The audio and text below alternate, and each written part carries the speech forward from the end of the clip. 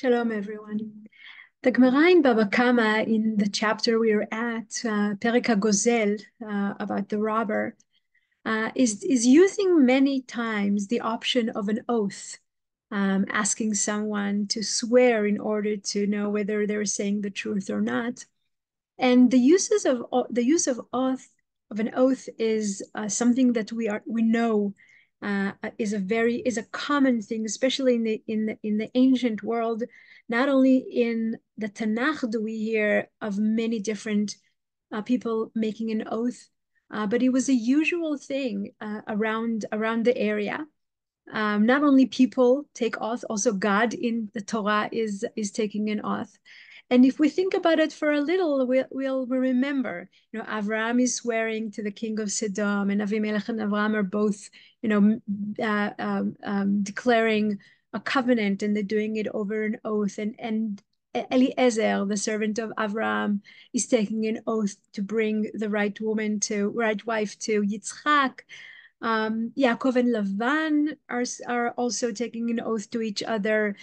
Esav and Yaakov over the over the Bechorah, um, and Yosef is swearing to his father to bring his uh, bones to Eretz Israel after he passes away, and also ya- Yosef asked his brothers to swear to him that they will um, not bury him in Mitzrayim, not, not leave him in Mitzrayim, but take his bone up to Eretz Israel when they leave Egypt. So it's not not a familiar thing, and taking an oath is is an act is something we um, we hear and and the oath in the Tanakh in the Torah especially is not just to swear but is to use the word of to use the name of God in order to make the oath in order to swear and there's a difference between neder and shvuah uh, neder we saw in Masechet Nedarim. Neder has to do with uh, with a tnai. You know, there's some kind of a, a um, of a condition but swear shvuah um, is not. And there's different,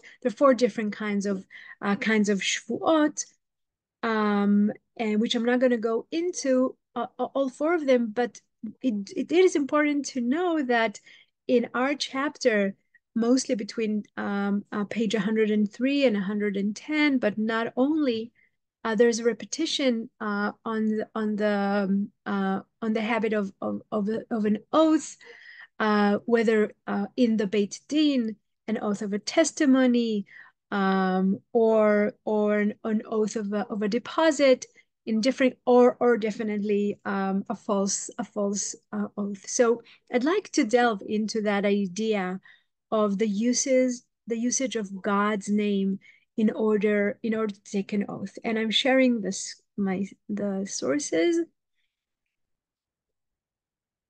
And let's see. So um, the question is to swear to swear or not to swear, to take an oath or not to take an oath.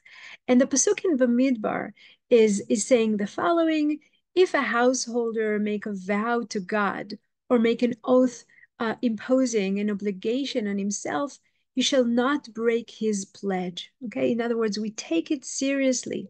He must carry out all that has crossed his lips. And another pasuk in Vayikra in Leviticus is saying, uh, or when a person utters an oath for bad or good purpose, um, and it was hidden from them, but later the person realized realizes guilt in any of this matter, then you know he should bring he should bring um, a, a, sacrifice.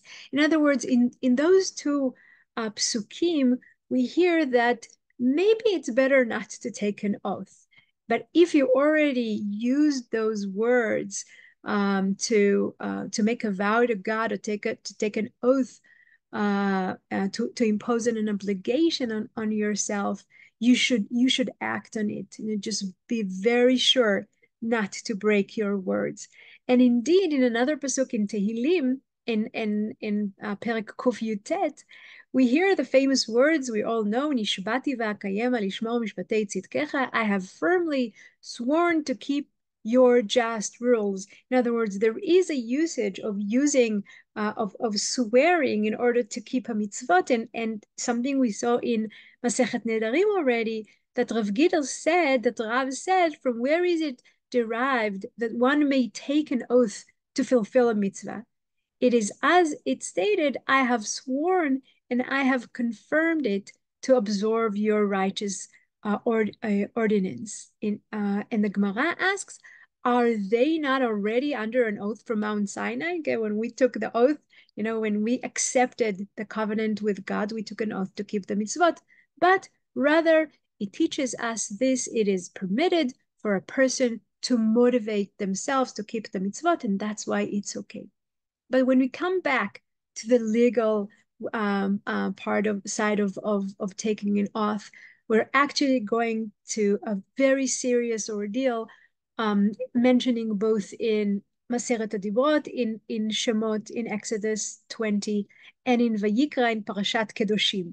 And the Pasuk in Shemot uh, in Aseret Dibrot is saying, Lo tisa et Shem Hashem Elokecha you shall not swear falsely by the name of your God, uh, for God will not clear one who swears falsely by God's name. Okay, on the surface, it doesn't sound like this is an this is an oath that um, that, that someone is is swearing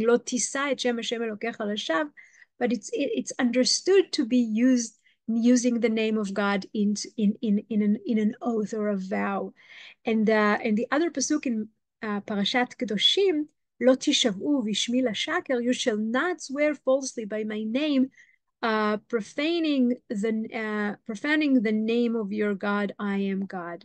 And the two psukim are are are always in the commentaries and in the midrashim are seen as complementing each other. They belong to each other. It's the same thing when you take God's name for false, it's as if you swear uh, um, uh, falsely.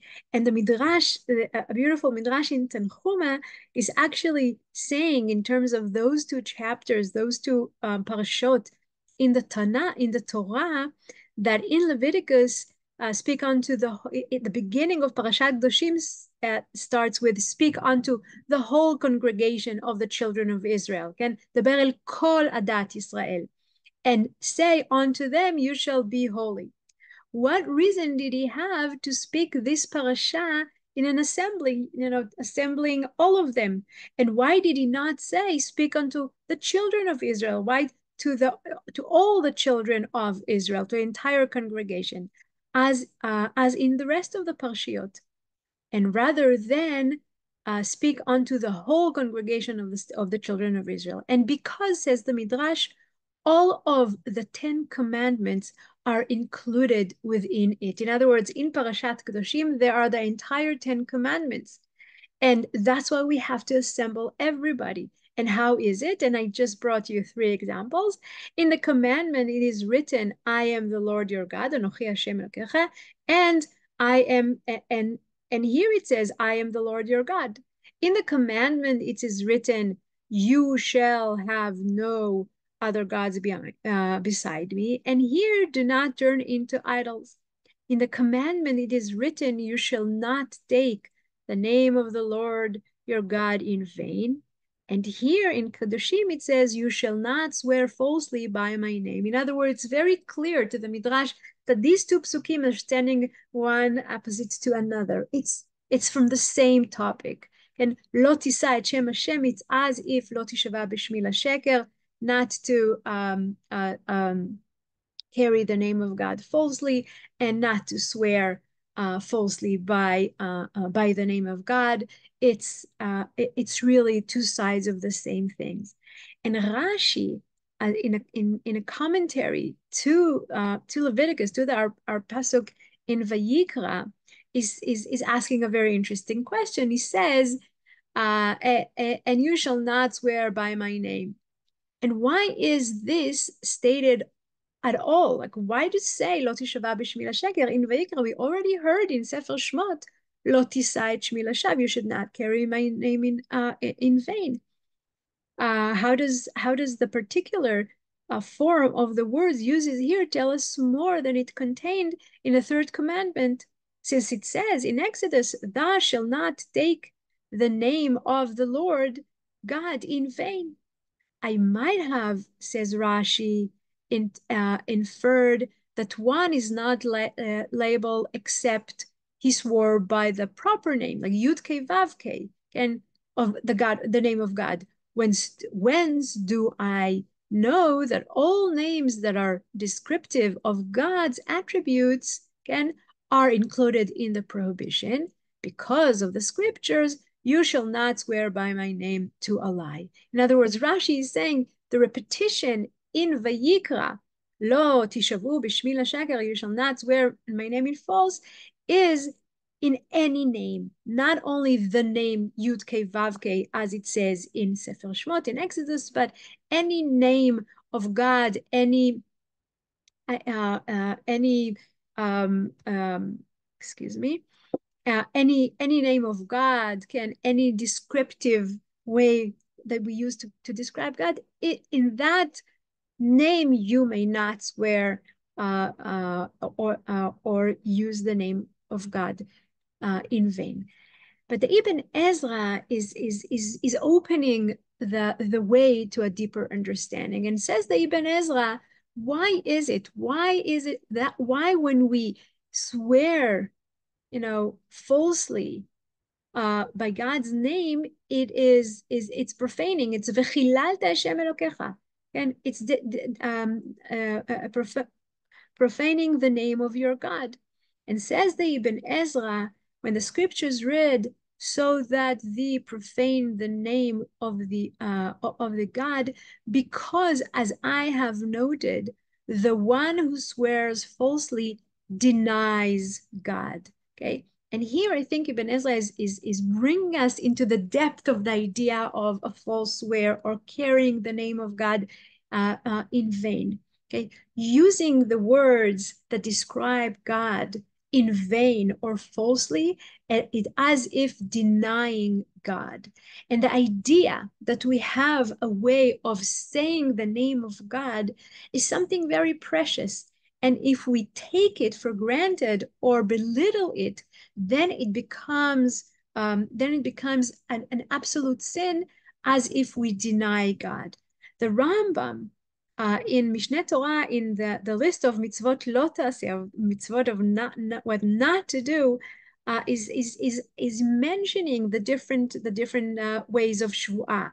Uh, uh, not to violate an oath, that's that's one one thing. Not to take an oath in vain. It's the second thing, and not to prof- not and not to profane the name of the Holy One, blessed be it, is the third uh, not to do mitzvah that has to do with the name of God, with any oath, uh, oath or swear with the name of God, and that just to show us how serious this is. The three different ways of not respecting God through not respecting the name of God. And, and the Sefer Chinuch has, has beautiful explanation of the root of uh, of the two sides of the mitzvah, of the mitzvah of not to swear for vain uh, uh, falsely and not to carry the name of God falsely. And he says the following: to not swear in vain, that we not swear pointlessly, as it is stated. It is uh, as it is stated. Um, it is from the root of this command of this commandment uh, that it is for people to know and fix in their souls and strength and strengthen the faith in their hearts about God.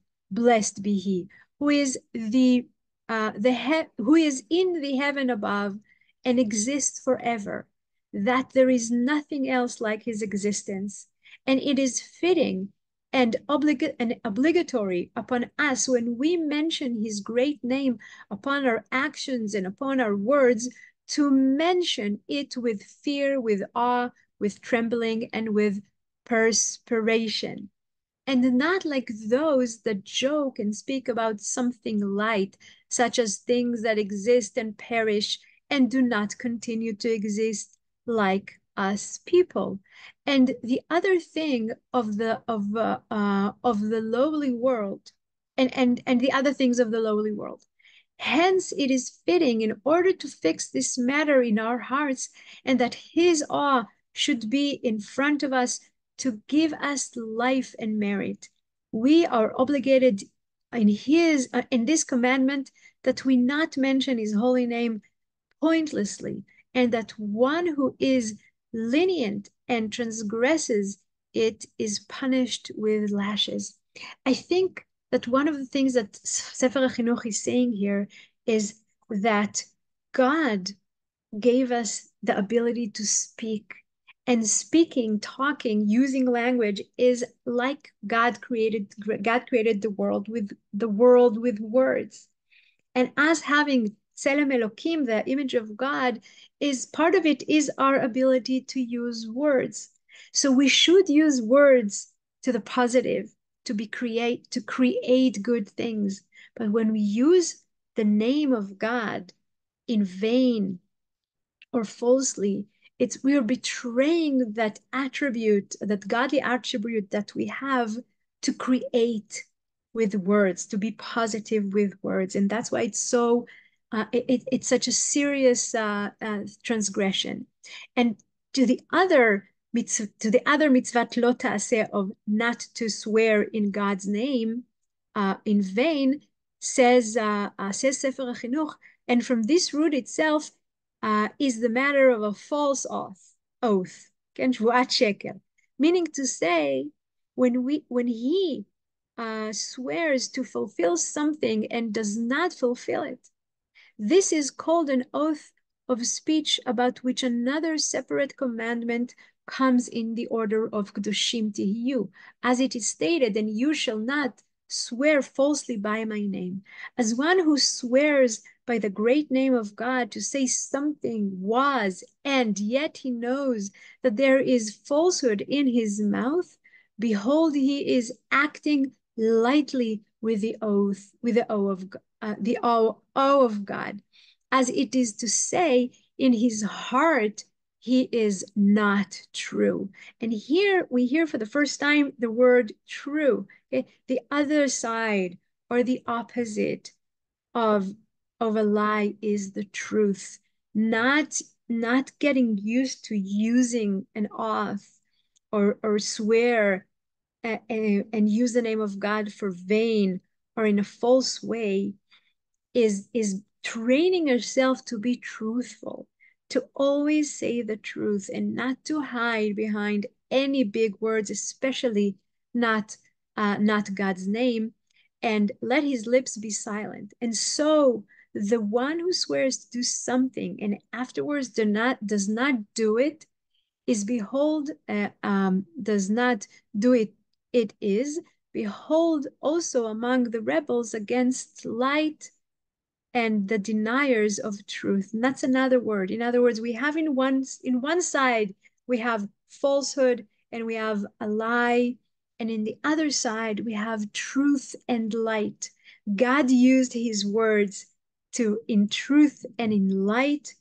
And if we use God's name, the opposite of truth and light, then we are betraying God and betraying Tselem Elokim, the God, the, the God, the image of God that we have in in us.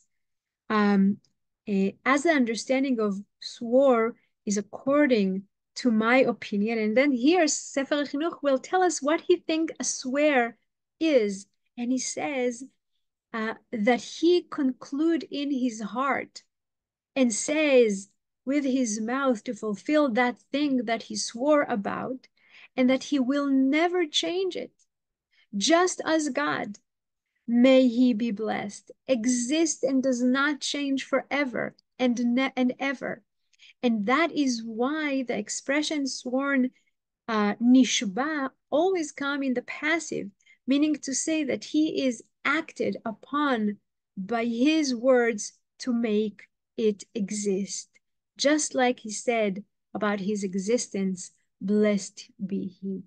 Using our words correctly, swearing to do something and do it, making us to a level of that of our to to uh, look like the level of our creator.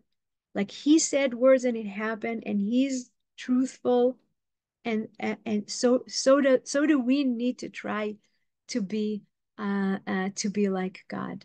And I wanna I wanna end with uh, with a beautiful midrash in the Sifra that says like why why is it that if we lie if we give a a, a, a false oath uh, oath uh, we we profane the name of God. And says the Sifra, uh, okay, when we profane the name of God, we are hereby taught that a vain oath is a profanation of the name.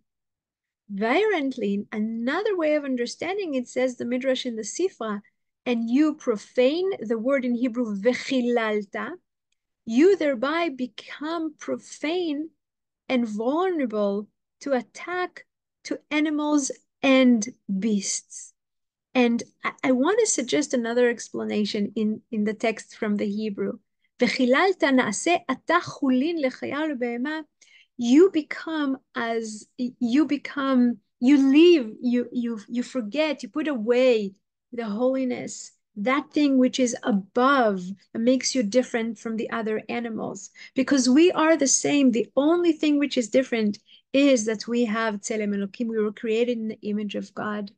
So if we profane the name of god and take it lightly that means that we don't really view that godly thing that we have in us as an important as valuable thing and that's why and when we do that we became we become like an animal uh, and a beast with, without the uniqueness of a, of a human spirit, of, of a neshama. And, uh, and Yirmiyahu, and we'll, we'll end with, uh, with the prophet Yirmiyahu. Yirmiyahu says uh, in a beautiful pasuk, Okay, like uh, the swear is always coming with the name of God, and swear as God lives in sincerity, justice, and righteousness. And when you make a swear, do it with sincerity, justice, and righteousness. Nay, and then says the Navi, nations shall bless themselves by you and praise themselves by you. In other words, the prophet Jeremiah is saying, you know, to to to be a nation, to use to be a nation, to train to be a nation that never swears for in vain, never carries the name of God in vain, and always have that name of God in, in front of us, and that leading us to live in truth, sincerity, justice, and righteousness, that will cause the rest of the world to look at us and to say, yes, you know, we want to bless like them. We want to live lives like them in, in, in the way that they keep um, Eh, the, the name of the creator in front of them and and carrying it in with, with respect and the midrash in bereshit rabbah and we're not going to read it but the midrash is really beautiful and he's saying god is telling god is telling uh, god is telling people who wants to swear and to take an oath really you want to do it you can only do it if your attributes as human beings are going to be like the three great God um, fearing people, Abraham, uh, let me find this for you, Abraham, Joseph, and, and Job. In other words, the Midrash in, in Bamidbar Rabbah is saying, okay, you want to swear? You want to take an oath with the name of God? That's fine. But first check to see that your attribute as high as those of Abraham, Iyov, and Yosef. But Rashi is saying is quoting that midrash without the names, and he's saying, well, you know what? Everyone can use the name of God in an oath, but here the pasuk on, uh, on Yirmiyahu is looking into is is is looking for our sincerity, uh, and you will and you will swear as the Lord lives in truth. When you swear by my name, you will swear in truth not as now that is written concerning you. And if they say, as the Lord lives, surely they swear falsely. In other words, what Rashi is saying, you want to use my name, use it in truth, not like the other people in, in the rest of the book of Jeremiah is that, that they're using the name of God falsely. Like each and every one of us can use the name of God after we really make sure and we work on our on our attributes and work on our inner thinking and our deeper understanding of what it means to be a human being that was created in the name of God in the image of God. And then if it's clear and if it's understood you can use my name and it will be not in vain. It, it is it's going to be not falsely. Otherwise you do it and and and you get punished. Um, and i hope this is just a very very quick uh, peek on the idea of uh, of swearing and of taking an oath. And hopefully we'll be able to always say i have firmly sworn to keep your just rules. Nishbati v'akayema. Lishmor mishpatei tzidkecha.